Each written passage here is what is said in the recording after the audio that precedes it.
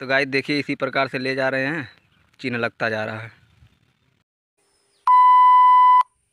Hello फ्रेंडा good afternoon तो दोपहर के बज रहे हैं बारह। आज सुबह जो है ब्लॉग नहीं चालू कर पाए क्योंकि कहीं बिज़ी थे। बिज़ी यहाँ पे थे, काम कर रहे हैं खेत में। केला लगाने की खेती हो रही है, कम से कम साढ़े तीन बीघे की खेती है।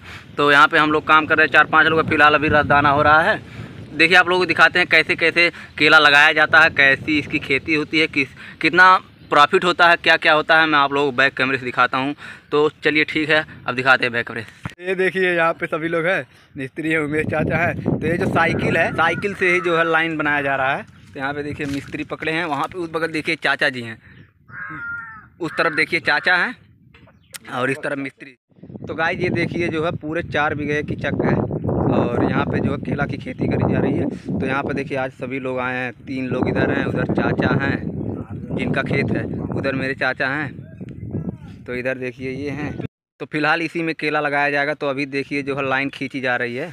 तो लाइन ये मिस्त्री खींच रहे हैं, उधर चाचा। तो ये जो रस्सी है ना, रस्सी के सहारे, इसके ऊपर अभी उमेश चाचा और ये गमछा चाचा को दे देना उधर।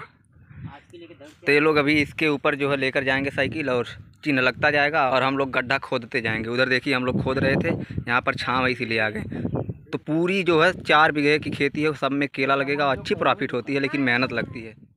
तो गाय देखिए, किनारे किनारे जो सरपुतिया, करेला वगैरह मतलब चारों तरफ़ लगा दिए हैं। पूरे तीन हज़ार का बीज आया है, बता रहे थे चाचा जी। पूरे तीन हज़ार का बीज और बताया जाता कि इसके अंदर पाँच प्रकार की खेती होगी। करेला हो गया, सरपुतिया हो गई, नेनुआ हो गया, केला हो जाएगा, इसके अंदर गोभी और हो सकता है, क्या, बैगन। गोभी और बैगन हो सकता है इसके अंदर लगाएँगे। तो गाय चलिए ठीक है, अब काम कर रहे हैं यहाँ पर। काम करने के बाद फिर आगे क्या होता है क्या नहीं, आप लोगों दिखाते हैं तब तक शाम के लिए। और सुबह को ब्लॉग नहीं चालू कर कर पाए, क्योंकि थोड़ा बिज़ी था, यहाँ पे ही मोबाइल चार्ज नहीं थी। तो चलिए ठीक है, अब चल रहे हैं काम पे और डेली ब्लॉग मिलता रहेगा आप लोगों को। चलिए ठीक है अब क्या होता, क्या नहीं, आप लोगों दिखाएँ तब तक लिख पाए है गाय देखिए जामुन। ये है जामुन। कितना मस्त लगा हुआ, लेकिन बहुत ऊँचे ऊँचे मस्त होता है। तो गाय देखिए इसी प्रकार से ले जा रहे हैं। चिन्ह लगता जा रहा है। ये रहा ट्रांसफार्मर। तो देखिए, ये गड्ढा खोदा जा रहा है। इतना इतना दूरी पे है। एक यहाँ है, एक यहाँ है तो एक वहाँ एक वहाँ तो ऐसे ऐसे बनाया जा रहा है। तो देखिए गाय यहाँ पे हम खोद रहे हैं। गाय लाइक कमेंट शेयर और सब्सक्राइब कीजिए सपोर्ट कीजिए। मेहनत तो बहुत काफ़ी कर रहे हैं प्लीज़ धरती की हर कन कन अब श्री राम। नाम पुकारती है। जब हिंद की सेना हिंदू है, माते जगत मेरी भारती है। जब हिंद की सेना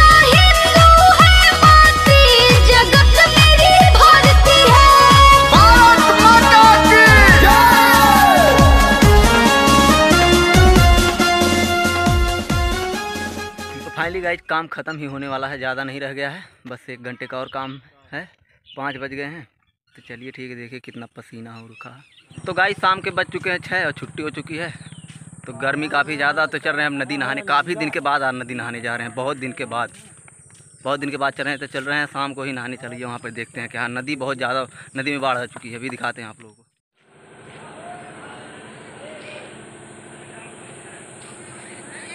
उधर देखिए मंदिर का निर्माण भी हो रहा है।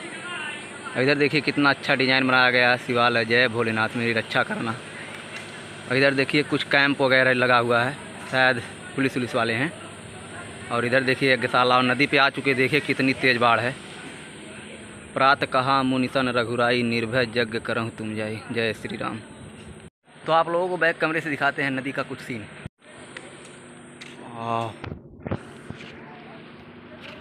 यहाँ पे देखिए कैंप लगा हुआ है।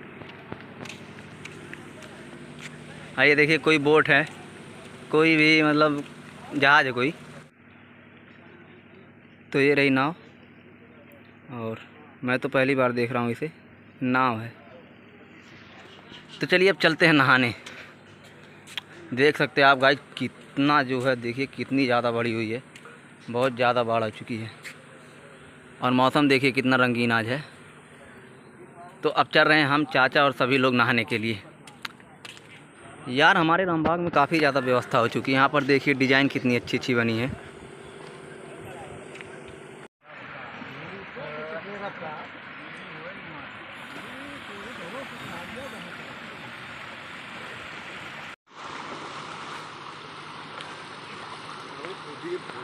तो पकड़ ले, टंगाई गया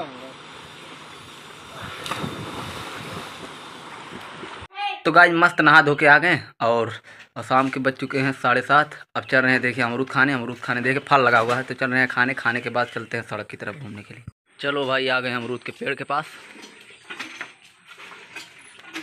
तोड़ते हैं। ले सत्यम, खा। लगा तो बहुत है, देखिए, पर अभी थोड़ा हल्का हल्का कच्चा है। एक मिला और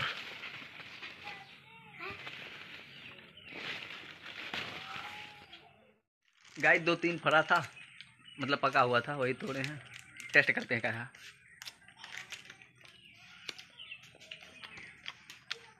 हम्म मस्त। जिसको जिसको खाना कमेंट करे मैं पार्सल करा दूँगा घर पे मेरा ये।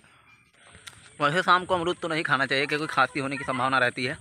तो चलिए अब सड़क की तरफ़ चल रहे हैं घूमने टहलने के लिए। हम हैं कैलाश भाई सत्यम तो गया घर क्योंकि उसे पढ़ाई करनी थी। तो चलिए हम लोग चल रहे हैं। कैसे हो? ठीक है भैया। ठीक है आप? ये रिश्तेदारी में आए हैं बताएँगे नहीं लेकिन आए हैं।